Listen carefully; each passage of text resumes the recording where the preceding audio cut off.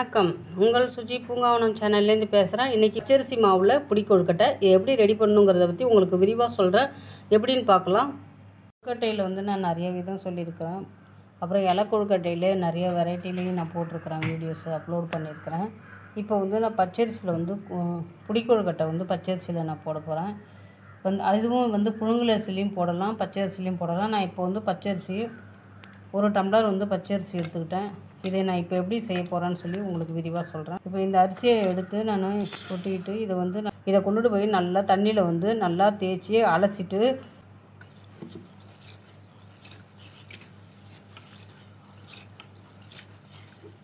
நல்லா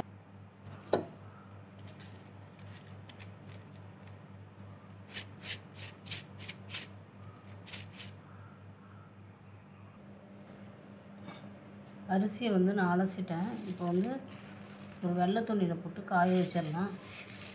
வடிகட்டி எடுத்து வச்சுருந்தேன்.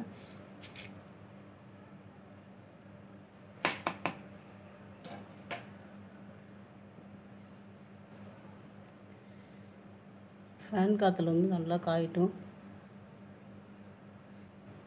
நல்லா காயட்டுங்க. அதுக்கு தேவையான பொருள் என்னென்னா ஸ்லோவாக வச்சுக்கோங்க. பொன்னிறமாக வறுத்துக்கோங்க காஃபி பருப்பை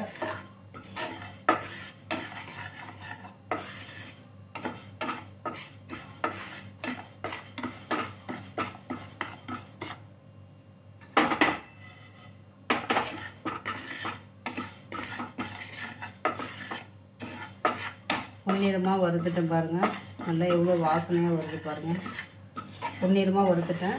இப்போ இதை எடுத்துட்டு தேங்காய் அடுத்தது தேங்காய் வந்து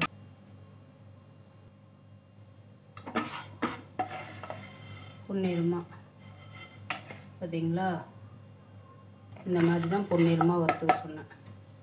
அது தேங்காய் வந்து சின்ன சின்ன பல்லாக நான் வந்து அரிஞ்சு எடுத்து வச்சுக்கிட்டேன். அதையும் நல்லா வதக்கிப்போம். பொன் வறுவலா அப்படின்னு சொல்லுவாங்க பார்த்திங்கன்னா அதே மாதிரி தேங்காவையும் நம்ம வ நல்லா வதக்கிக்கணும். நீங்கள் வந்து அரியும் வேண்டாம்னா திருவி கூட போட்டுக்கலாம். இது மாதிரி போட்டால் ரொம்ப நல்லாயிருக்கும். அதனால் தான் நான் இது மாதிரி உட்காந்து திரு அரிஞ்சு போட்டுக்கிட்டேன்.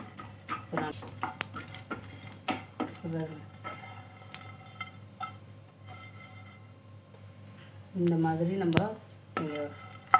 வதக்கி எடுத்துக்கணும். இதே மாதிரியே இருக்கணும். இப்போ இதை எடுத்துட்டு அடுத்தது வந்து நம்ம மல்லாட்டை போட்டுக்கலாம்.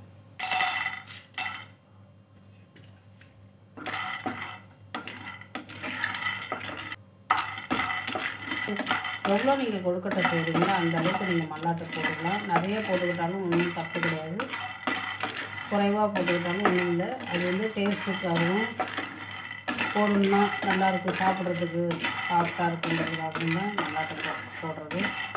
இதையும் நம்ம வந்து பொன் வரவெல்லாம் வறுத்துக்கணும். வறுத்துக்கிட்டால் இந்த தோல் வந்து என்னாகும் எடுத்துக்கிட்டு வந்துடும் இது வந்து வ காஞ்ச மல்லாட்டை இப்படி இப்படி செஞ்சாலே இப்போ வரல பார்த்தீங்களா இப்படி செஞ்சாலே வந்துடும் இப்போ நம்ம இதை வந்து பொன் வரவெல்லாம் வறுத்துக்கலாம்.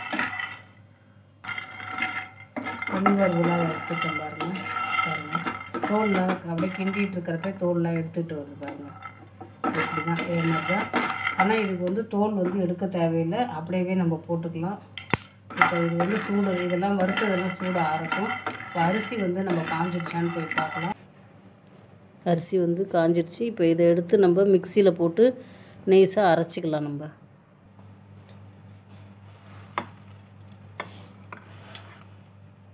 எல்லா அரிசியும் போட்டு நம்ம நெய்ஸாக அரைச்சிக்கலாம்.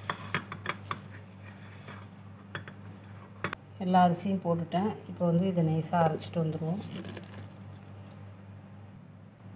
மாவு வந்து அரைச்சிட்டு வந்துட்டேன்.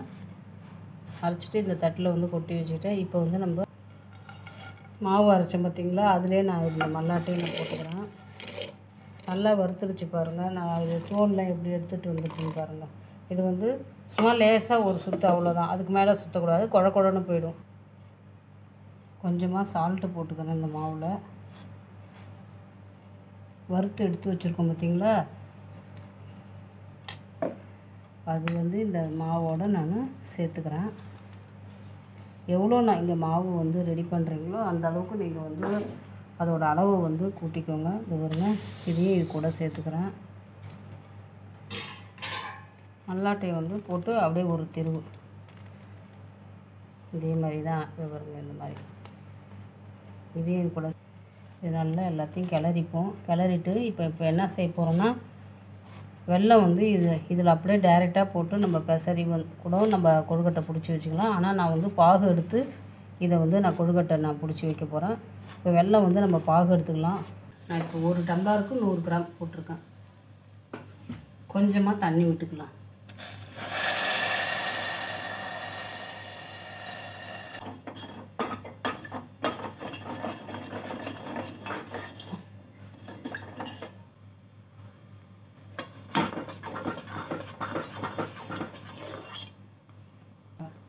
கரைஞ்சிருக்கு எந்த அளவுக்கு பக்குவமாக வந்துருக்கு பாருங்கள் இப்போ இதை வந்து இந்த மாவில் எடுத்து ஊற்றி நம்ம கிண்டிக்கலாம்.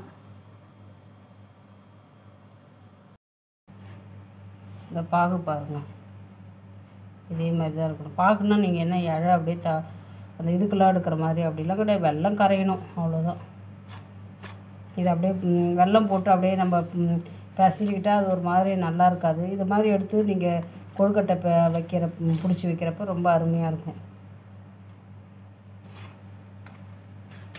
இப்போ இந்த மாவு ஃபுல்லாகவே நான் பிசைஞ்சிக்கிட்டு கொழுக்கட்டை பிடிச்சி மாவு பாருங்கள் ரெடி ஆகிடுச்சு இப்போ வந்து இதை வந்து என்ன செய்யணும்? கொழுக்கட்டை பிடிச்சி பாருங்க இதே மாதிரி கொழுக்கட்டையை பிடிச்சி ஒரு துணி போட்டு இதை மாதிரி வைங்க. இப்படி பிடிச்சிக்கோங்க. கையில் ஒட்டாமல் அப்படி தான் இருக்கும். இப்படி வச்சுருங்க. இந்த மாவு ஃபுல்லாகவே நம்ம பிடிச்சி பிடிச்சி இதே மாதிரியே வச்சுருவோம் கொழுக்கட்டையை. ரொம்ப சாஃப்டாக அருமையாக இருக்கும். இது வந்து விநாயகர் சதுர்த்திக்கு நீங்கள் வந்து இதை செய்யலாம். விநாயகர் சதுர்த்தி ஸ்பெஷலாக இதை வந்து பிடி கொழுக்கட்டையும் செய்வாங்க பூர்ண கொழுக்கட்டையும் செய்வாங்க. நீங்கள் எது வேணாலும் செஞ்சுக்கலாம். எல்லாத்தையுமே நான் பிடிச்சி வச்சிடுறேன். கொழுக்கட்டையை வந்து நல்லா பிடிச்சி வச்சுட்டேன். இதை கொண்டுட்டு போயிட்டு வேக வச்சிடலாம். புடி கொழுக்கட்டை ரெடி ஆகிடுச்சு பச்சரிசி மாவு புடி கொழுக்கட்டை ரெடி ஆகிடுச்சு பாருங்கள் கொழுக்கட்டை வந்து எந்த மாதிரி அருமையாக இருக்குது பாருங்கள் சூப்பராக இருக்குது ரொம்ப டேஸ்ட்டாக ரொம்ப சாஃப்டாக வேறு இருக்குது பாருங்கள் ரொம்ப அருமையாக இருக்குது உங்களுக்கு வந்து இந்த வீடியோ பிடிச்சிருக்கும்னு நினைக்கிறேன். நீங்கள் வந்து ட்ரை பண்ணி பாருங்கள் ட்ரை பண்ணி பார்த்துட்டு எனக்கு கமெண்ட் பண்ணுங்கள் தேங்க்யூ